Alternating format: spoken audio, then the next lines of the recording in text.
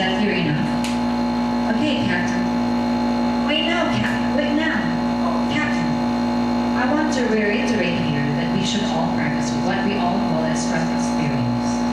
Trust exercise? Hmm.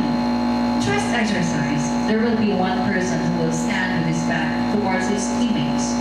He will then let himself fall to the ground, and his teammates lined up behind him will then have to crush him. Of looks dangerous, Kuya. That actually means he'll fall to the ground on his back.